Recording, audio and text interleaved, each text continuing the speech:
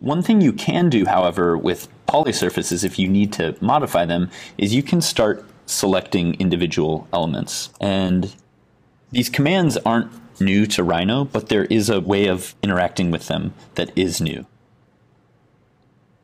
If you hold Shift and Control, that toggles sub-element selection.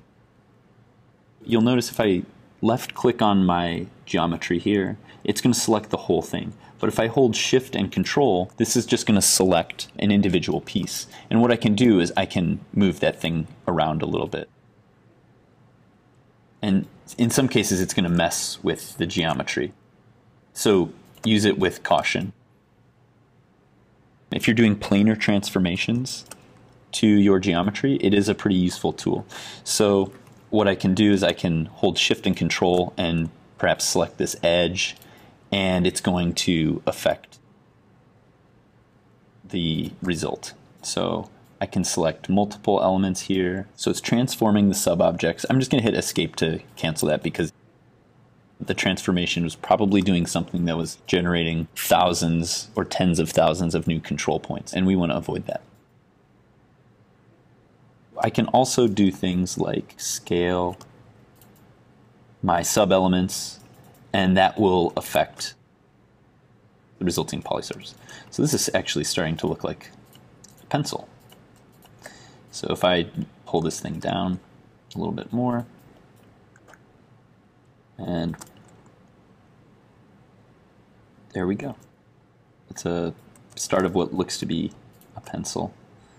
And this is where the graphite would go. So again, to select the sub-elements of a piece of geometry, you hold Shift and Control.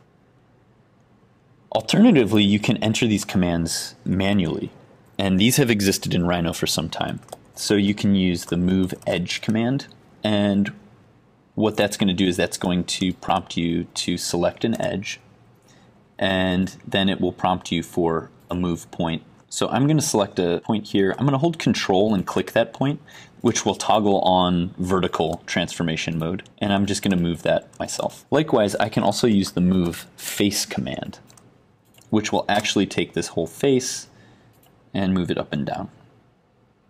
So again, I'm using the control key to toggle vertical transformations on and off. And that's basically it for sub elements. I want to cover a couple more things before we move on to some of the fabrication content for this lesson.